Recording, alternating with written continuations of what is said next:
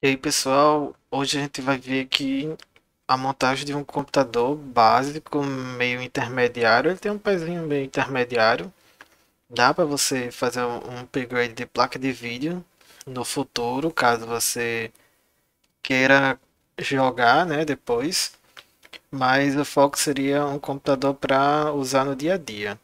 É, não vai ser um computador barato, não tem nada barato, infelizmente mas vai dar um gás aí por, por um tempo e você vai poder é, fazer um pequeno upgrade de placa de vídeo no futuro. Então, vamos começar aqui pesquisando as peças. Pronto, eu estou aqui no, no site da Kabum, que é uma loja bastante conhecida na internet. É, já comprei com ela e tudo mais vem direitinho, então ela é segura. Tem outro site também, mas por enquanto eu vou apenas focar nesse site aqui, mas vocês podem pesquisar as mesmas peças em outros sites que vocês conhecerem, o local na região onde você mora, não tem problema, né? Então a primeira coisa que a gente precisa pesquisar vai ser o processador, né?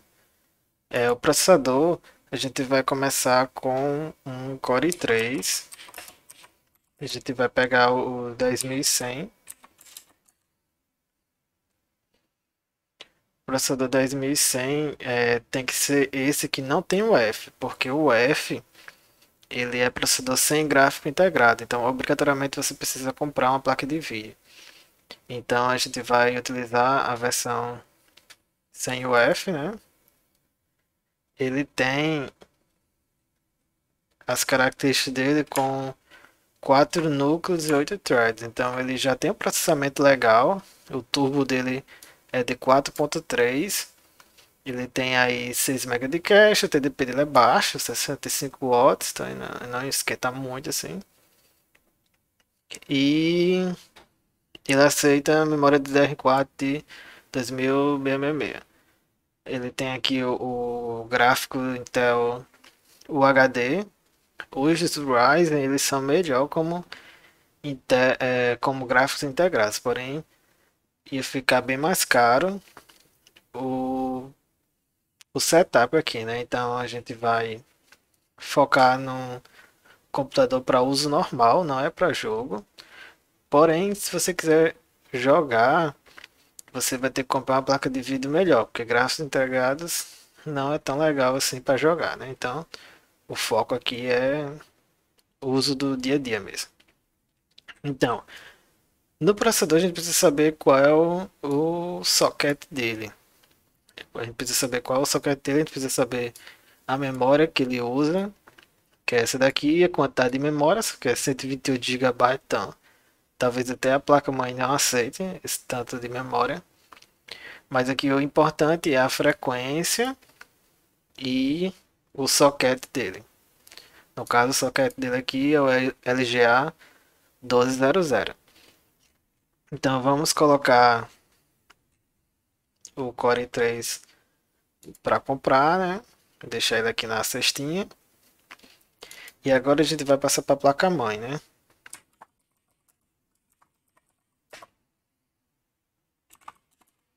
Eu andei pesquisando essa Asus Prime aqui. Ela é muito boa, ela não é tão cara, mas ela também não é a mais fajuta que tem, vamos dizer assim. Ela, tá, ela é LGA 1200, ela é uma micro ATX, então ela é uma placa bacana, assim, dá para ficar um bom tempo, tem dois slots para você colocar depois mais uma pente de memória e expandir a quantidade de memória, vai ajudar bastante, né? Então a placa-mãe é interessante. Ela tem USB 3.0, tem HDMI aqui, tem DVI, que é a saída de vídeo, você pode colocar dois monitores até. E enfim, não vai entrar tanto em detalhe aqui não, mas ela, o importante, né? Ela aceita até 2983 de memória, lembrando que o nosso processador isso é até 2666. Então não adianta colocar mais memória, porque senão você vai precisar baixar, né? depois dá muito problema, etc. Tal, então não é tão bacana, né? Ela aceita a décima geração de processadores, que é do nosso Core i3. E ela aqui tem uma plaquinha, tem uma conexão PCI, que é essa daqui, ó. PCI 3.0, que é para uma futura placa de vídeo, caso você queira colocar, né? Ela também tem um PCI aqui, eu acho que é de 1x, se não me engano. Deixa eu ver aqui, isso, PCI 3.0 de 1x. Para você quiser colocar uma, alguma placa de áudio, etc. Né? Então essa placa é bem interessante. Eu vou colocar aqui para comprar também, né?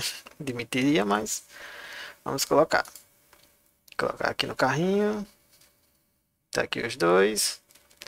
Aí só nessa brincadeira eu tenho 1399. As coisas estão tão cara. Então a gente vai agora para memória. A memória mais barata que eu achei é uma de 8 GB é 2666. Então a gente tem essa memória aqui.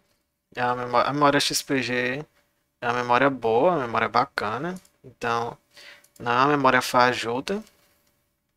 Você pode comprar uma memória mais simples, sim. Mas aí você já está aqui adquirindo a memória de qualidade, né? Indo aqui no Google, a gente pode colocar aqui em Shopping e ver é, outras memórias que estão para vender, né? Então, é, essa da XPG acho que é a mais em conta que vai ter. Acho que eu não estou vendo outra memória mais barata em sites conhecidos. Então, essa memória tem essas memórias aqui mais simplesinha, mas eu não recomendo tanto a compra dela. A data também é da XPG. Então, é uma memória confiável, só que é uma memória muito simples. Aquela outra memória ali você vai ter uma garantia de muito mais tempo de utilização dela. Então, é bom é, não economizar tanto em, em peça de hardware, né? Se você quer é, um bom funcionamento do sistema durante bastante tempo, né? Então a gente tem 8 GB, 8 GB para o dia a dia é o suficiente. E se você for jogar, você precisa de 16 GB. Hoje em dia 8 GB está muito complicado, muito difícil. Então 16 GB é o ideal. Mas para o dia a dia, como é esse computador, a gente pode ficar com 8 GB tranquilo, né? Vamos colocar aqui no nosso carrinho. E agora a gente vai para o armazenamento é indispensável hoje em dia um SSD de 120 GB ou maior, né? O ideal é 256. Mas como a gente precisa economizar um pouco mais, esse da Kingston, eu recomendo muito Kingston. Kingston é uma marca muito boa, nunca tive problema. Então, com 120 GB é o ideal. O ideal seria 240, mas com 120 GB você consegue instalar o Windows ou Linux, né? E os programas tranquilo. E a parte pesada, como instalar os jogos ou colocar filmes, fotos, coisas assim, você pode passar para outro armazenamento, no caso um HD comum, né? Então vou comprar aqui. Vamos voltar lá para a pesquisa. É, a gente pode ter também um HD de 1 terabyte para o grosso, vamos dizer assim. Esse HD de 1 terabyte errado. O HD de 1 terabyte seria o ideal.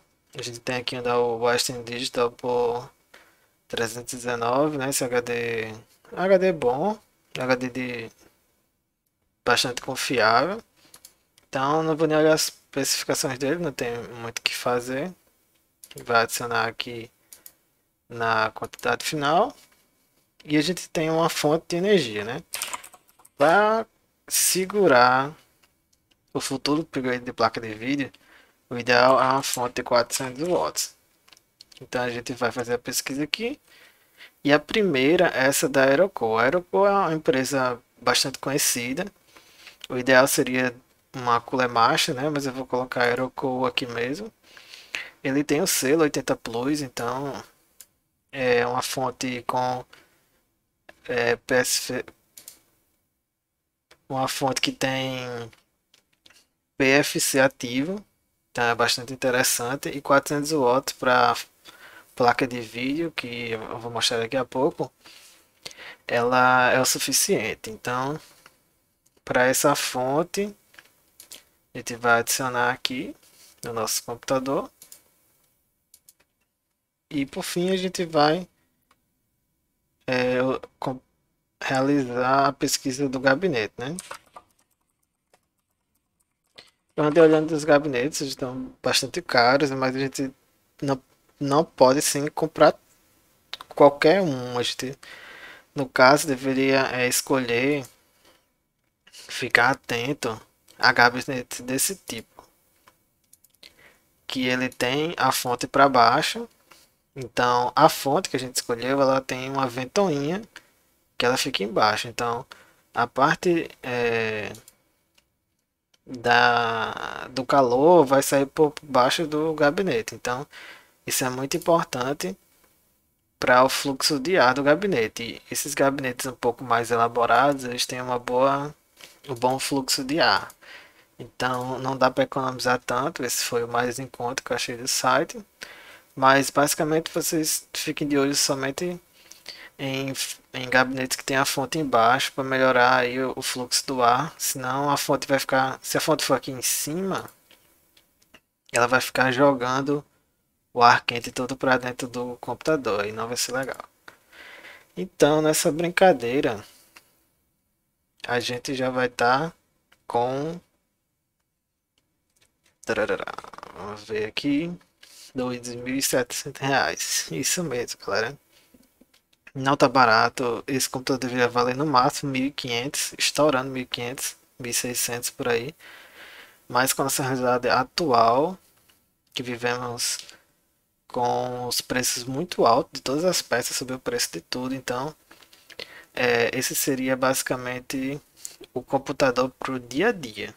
computador para o dia a dia. Quando a gente for para o vídeo do computador gamer, aí que os valores vão subir bastante. Mas esse computador dá para jogar sim. É, com a nossa fonte de 400 watts e o Core i3, que ele é 4 núcleos, 8 threads, né? A gente já pode escolher uma 1650 Super. A 1650 Super é bastante interessante. Custa caro, sim, ela custa bastante caro, mas ela já vai segurar de boa aí é, um, uma boa quantidade de jogos. Olhando aqui no YouTube, eu tenho aqui um teste com o Core i3 10100, que é o que a gente tá que tem no nosso carrinho aqui. Certo? A gente tem o Core i3 10100 e a gente tem a 1650 Super. Então, aqui no Forza, Forza Horizon 4. No máximo ele tá dando no Ultra, né? Tá dando 70 FPS, 65 e no Low tá 147 FPS, né? Então, GTA V dá para jogar no Ultra 60, você pode colocar até no, no médio ou no alto, vai rodar de boa. Tem o Red Dead Redemption, dá para jogar no Low também, tranquilo. É, o processador já fica um pouco mais estressado. Então, é, esse, esse setup não dá para jogar jogos tão bem elaborados, mas como você pode ver aí, Red Dead consegue rodar também no grito, mas roda. É, o CSzinho aí roda muito bom, roda tranquilo, Fortnite, esses Battle Royale dá para jogar de boa também. E por fim, tem Assassin's Creed que o computador chora tanto no low quanto no ultra. Então, para Assassin's Creed fica complicado. Ele não é muito otimizado para rodar é, em computadores mais modestos, né? Também a questão do Cyberpunk aí que veio também está muito complicado em muitos computadores, então é, vai ter alguns jogos que realmente vai ser difícil rodar, mas vai dar para jogar muita coisa. Então é isso, pessoal. Aqui está o carrinho de compras aqui, caro. Mas se você quiser uma máquina para ficar bastante tempo com a possibilidade do upgrade da placa de vídeo, é, essas são as peças que eu recomendaria para comprar, né? Então, até o próximo vídeo. Até mais.